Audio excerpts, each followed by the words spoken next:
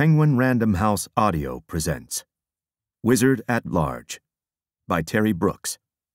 Read for you by Jeremy Arthur. An almost perfect spell.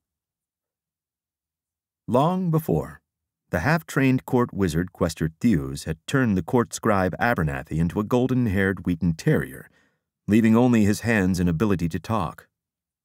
But now, the wizard swore, he'd found a spell sure to set all right. Abernathy watched skeptically, but hopefully, as Questor's hands swooped up and down. As Questor began to murmur his spell, the air filled with a sparkling silver dust. Achoo! Questor sneezed suddenly. There was a brilliant flash. When they looked back, Abernathy stood unchanged. No, not unchanged. His hands were gone. He had paws. Abernathy's eyes blinked open. Rope! He barked. Then, in horror, he barked again. Rope, rope, rope! Questor! High Lord Ben Holiday cried. You've turned him completely into a dog. For Alex, who is something of a wizard at large himself. At that word, the young man let his glass slip through his fingers and looked upon Keawe like a ghost. The price, says he. The price. You do not know the price? It is for that I am asking you, returned Keawe. But why are you so much concerned? Is there something wrong about the price? It has dropped a great deal in value since your time, Mr. Keawe, said the young man, stammering. Well, well, I shall have the less to pay for it, says Keawe. How much did it cost you? The young man was white as a sheet. Two cents, said he. What? cried Keawe. Two cents? Why, then you can only sell it for one, and he who buys it. The words died upon Keawe's tongue. He who bought it could never sell it again. The bottle and the bottle imp must abide with him until he died, and when he died, must carry him to the red end of hell. Robert Louis Stevenson, The Bottle Imp. Sneeze. Ben Holiday sighed wearily and wished he were somewhere else besides where he was. He wished he were anywhere else. He was in the garden room at Sterling Silver. The garden room was probably Ben Holiday's favorite of all the many rooms at the castle. It was bright and airy, Flower boxes crisscrossed the tiled floor in dazzling swatches of color. Sunshine streamed through floor length windows that ran the length of its southern wall, tiny motes of pollen dancing on the broad bands of light. The windows stood open, and fragrant smells wafted in.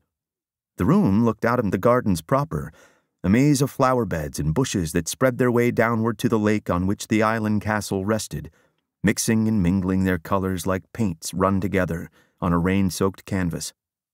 The flowers bloomed year round, reseeding themselves with commendable regularity. A horticulturist from Ben's old world would have killed to study such treasures, species that grew only in the kingdom of Landover and nowhere else. Just at the moment, Ben would have killed to escape them. Great High Lord, mighty High Lord. The familiar calls of supplication grated on him like rough stones, and reminded him anew of the cause of his disgruntlement. His eyes rolled skyward momentarily. Please. His gaze shifted furiously from flower box to flower bed and back again, as if somewhere among all those tiny petals the escape he so desperately sought might be found. It wasn't, of course, and he sagged back further in his cushioned chair and contemplated the unfairness of it all. It wasn't that he was trying to shirk his duty. It wasn't as if he didn't care about these things but this was his refuge, for Pete's sake. This was supposed to be his place for time away. And took all of our hard earned berry stores. And all of our ale kegs as well. What all we did was to borrow a few laying hens, High Lord. We would have replaced those that were lost, High Lord. We intended to be fair. We did. You must see that our possessions are returned. Yes, you must. They went on, barely pausing for breath. Ben studied Fillip and Sot the way his gardeners studied weeds in the flower beds. The G'home gnomes rambled on unself-consciously and endlessly, and he thought about the vagaries of life that permitted misfortunes such as these to be visited on him. The G'home gnomes were a pitiful bunch, small, ferret-like burrow people who begged, borrowed, and mostly stole everything with which they came in contact. They migrated periodically, and once settled, could not be dislodged. They were regarded in general as a blight upon the earth. On the other hand, they had proven unswervingly loyal to Ben. When he had purchased the kingdom of Landover from Rosen's department store Christmas wish book and come into the valley, almost two years ago now, Fillip and Sot, on behalf of all the G'home gnomes, had been the first to pledge their loyalty. They had aided him in his efforts to establish his kingship. They had helped him again when Meeks, the former court wizard, had slipped back into Landover and stolen his identity and his throne. They had been his friends when there were precious few friends to be had. He sighed deeply. Well, he owed them something, certainly, but not this much. They were taking advantage of his friendship in a way that was totally unconscionable. They had traded on it to bring this latest complaint before him, deliberately circumventing the regular channels of a court administration he had worked hard to implement. They had brandished it like a fiery torch until he was hounded to this, his last sanctuary. It wouldn't be so bad if they didn't do this every single time there was a complaint of any sort, which was every five minutes, it sometimes seemed. But of course they did. They didn't trust anyone else to be fair and impartial. They wanted their great High Lord and their mighty High Lord to hear them out. And hear them out, and hear them out. A fair disposition would be a return of all things stolen and a replacement of all things damaged, said Fillip. A fair disposition would be for you to order to our service several dozen trolls for a reasonable period of time, said Sot. Perhaps a week or two, said Fillip. Perhaps a month, said Sot. It would also help matters if they didn't bring most of their problems on themselves, Ben thought darkly. It was difficult to be either objective or sympathetic when he knew before the first word was out of their mouths that they were at least as guilty of causing the dilemma as whomever their latest complaint was to be lodged against. Fillip and Sot rambled on. Their grimy faces twitched as they talked, their eyes squinting against the light, their fur wrinkled and worn. Their fingers curled and straightened as they gestured, and bits of dirt crumbled and broke away from beneath the nails where it was caked from digging. Their shabby clothes hung on them, leather and sackcloth, colorless save for a single incongruous red feather stuck in the headband of their caps. They were bits of wreckage that had somehow washed up on the shores of his life. Perhaps a tribute would help serve as recompense, Fillip was saying. Perhaps a token gift of silver or gold, Sot echoed. Ben shook his head hopelessly. This was quite enough. He was about to cut them off when he was saved from the need to do so by the sudden, unexpected appearance of Questor Thews.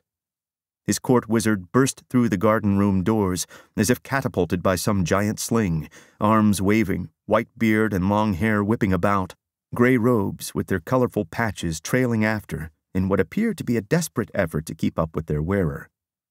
I have done it! I have done it! he proclaimed, without any preliminaries.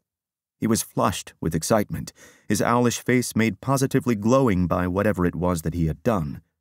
He seemed oblivious to the presence of the G'home gnomes, who mercifully stopped their presentation in mid sentence and simply stared at him open mouthed. What is it that you have done? Ben inquired mildly. He had learned to temper his enthusiasm where Questor was concerned, because it was often sadly misplaced. Questor accomplished on the average about one half of what he thought he had accomplished. The magic, High Lord. I have found the magic. Finally, I have found the means to. He stopped, hands gesturing emphatically. No, wait a moment. The others must hear this too. All of our friends must be present. I have taken the liberty of sending for them. It should only be a few brief. This is such a glorious. Ah, ah, here they are now.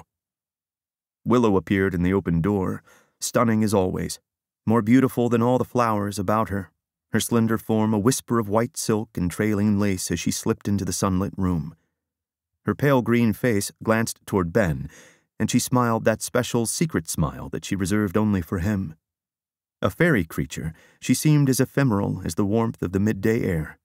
The kobolds, Bunion and Parsnip, trailed after, gnarled bodies skittering along, wizened monkey faces grinning doubtfully, all teeth and sharp angles. Fairy creatures, too.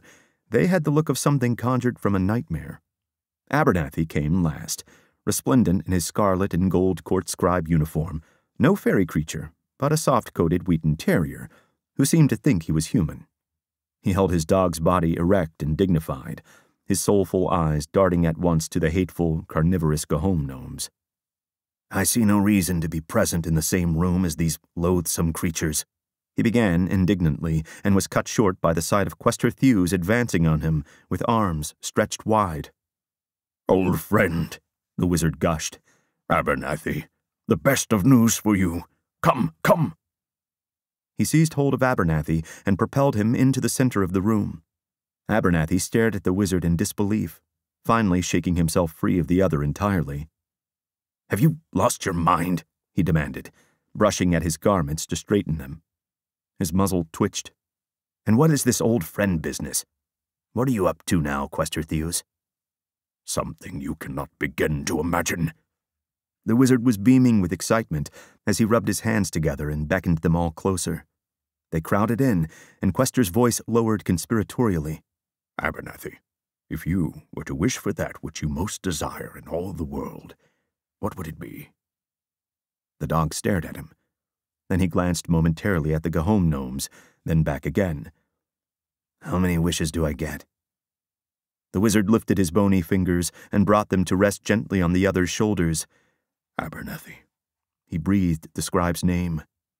I have found the magic that will change you from a dog back into a man. There was stunned silence. Everyone knew the story of how Questor had used the magic to change Abernathy from a man into a dog, to protect him from the old king's spiteful son some years earlier, when that reprobate was in one of his more hateful moods, and then had been unable to change him back again. Abernathy had lived since then as an imperfect dog who retained human hands and speech, always with the hope that one day a way would be found to restore his human self. A chagrined Questor had searched in vain for that way frequently claiming he would find it when he found certain books of magic hidden by Meeks on his departure from Landover. But the books had been destroyed while being recovered, and not much had been heard on the subject since. We hope you enjoyed this preview. To continue listening to this audiobook on Google Play Books, use the link in the video description.